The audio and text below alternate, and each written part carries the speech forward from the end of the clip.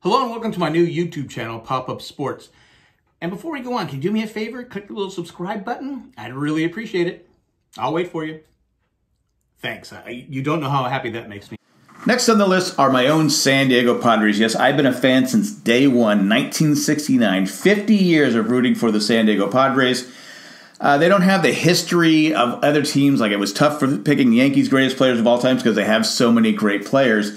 The Padres have a few great players, and a lot of guys you're not going to go, who?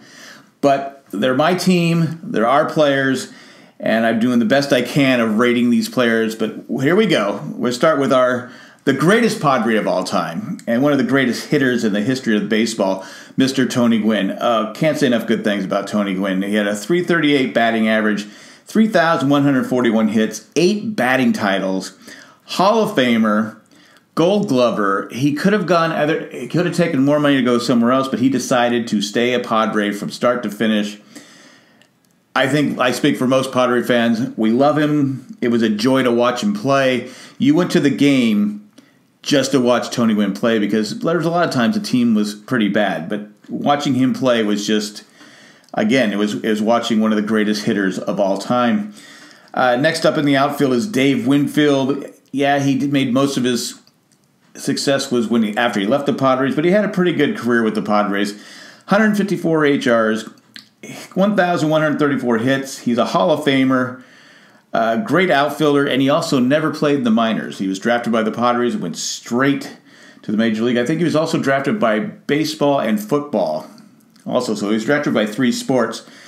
Uh, again, went with Dave Winfield. The third outfielder is Steve Finley. Uh, he had great power numbers for the Padres. Gold Glove outfielder. Uh, took him helped take him to the World Series in 1998. Only played about three and a half, four seasons with the Padres.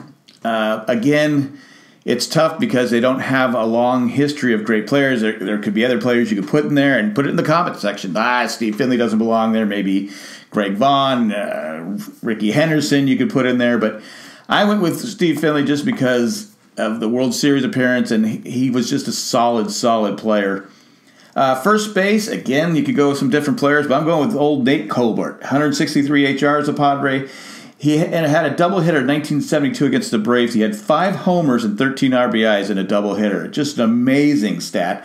And a lot of people think, okay, he only had 163 HRs, but back when San Diego Stadium first opened up, they had a 17 foot wall you had to hit it over that wall. I don't. I would say probably the year he had 38 homers, he did it twice. He probably would have had about 58 homers, or even could have broken Roger Maris's record at the time uh, with uh, 61 homers because of the wall. But anyway, I'm going with Nate Colbert. There's other players you could probably put on that list, but I'm going with Nate Colbert. Second base has been kind of a black hole for the Padres, you know, the whole time. Uh, if they wouldn't have traded Roberto Alomar, worst trade in, in uh, Padre history, in my opinion, I would have definitely had him on the list. But I went with Alan Wiggins, um, mainly because of the World Series year '84, 70 stolen bases, 106 runs scored. He also went moved from the outfield to second base the start of that season, and that helped the Padres, and also it helped Tony Gwynn have an average, I believe, of 370 because they were so worried about uh, Alan Wiggins' speed at first base. So I'm going to Alan Wiggins. You could you could have gone with, uh, like I said, if they hadn't traded Carlos Baerga, or there, there's other players you could have gone with, but there's not a lot of great players at second base for the San Diego Padres. Third base, I went with Ken Caminiti. I know it's a steroid area, but I'm not I'm not excluding players from the steroids in this list. Uh, he was the National League MVP in 1996. Great defense. Uh, big reason for the Padres making the World Series, the playoffs in '96, obviously, and in '98 making the World Series. Uh, I love Ken Caminiti, uh, but I'm going to put him on the list now. If Manny Machado, once Manny Machado's career is done with the Padres, he'd probably be the guy that would I would put there. But as of now, going with Ken Caminiti. Shortstop, probably would have gone with Fernando Tatis once his career is over because the guy's an amazing young player. But I'm going with Gary Templeton. Took the Padres to the World Series in 84. He had 1,135 hits to the Padres, 195 doubles. He really cemented the position at uh, shortstop. Bad knee probably kept him from being the player he was when he was younger. But yes, we're going with Gary Templeton at shortstop. Uh, could have gone with Ozzie Smith, but Templeton played longer and, and had a better career with the Padres than Ozzie Smith. Ozzie Smith made his career with St. Louis. Uh, next up, Terry Kennedy. I was going back and forth between him and Benito Santiago. But again, he helped the Padres get to the World Series in 1984. He had 424 RBIs and 76 homers as a Padre, and it was and it was a solid player and, and helped build that young team. Uh, going to starting pitching, I'm going with Jake Peavy.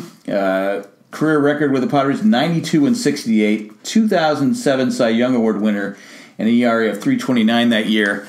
Uh, yeah, I, Jake Peavy was was a uh, good pitcher for the Padres, and that's where we're going with him. Next up, my favorite Padre of all time, Randy Dandy Jones. From 75 to 76, he was the best pitcher in the game. Uh, he won the Cy Young in 1976 with a 22 and 14 record. You're thinking, and that was with a terrible Padre team. They, they were bad. Uh, he had 25 complete games in one season. I don't think the Padres have had 25 complete games since. I'm just exagger- exaggerating, but and he also had 315 innings pitched that year. If he wouldn't have torn up his arm, he he probably would have made the Hall of Fame. He was that good. Pete Rose said he was the toughest pitcher he ever faced.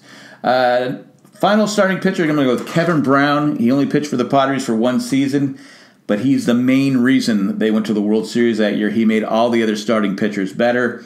18 and 7, ERA of 2.38, just his total attitude on the mound, and he set a great example. It, helped the Padres, and again, they made the World Series because of him. So he he rounds out my third uh, pitcher. There could be other pitchers. I could have went Gaylord Perry, won a Cy Young Award. Uh, Bruce Hurst had some good years with the Padres, but I'm going with Kevin Brown. If you disagree, put it in the comment section.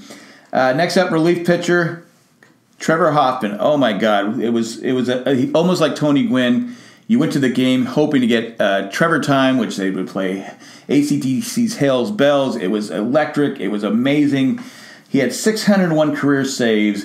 In 1998, uh, the World Series year, he had 53 saves, an ERA of 1.48, and he is a Hall of Famer. So we and also he had he had hurt himself a few times, and he he, de- he developed a changeup because he was more of a power pitcher when he first came up. But no, Trevor Hoffman reinvented himself, and he's definitely uh, tops on my list. Second relief pitcher went back and forth with it. Could have went with Rollie Fingers. Could have went with um, Mark Davis, who won a Cy Young Award with the Padres as a relief pitcher, or uh, Goose Gossage, but I started to go with Heath Bell. 132 saves in three years as a Padre, three time All Star.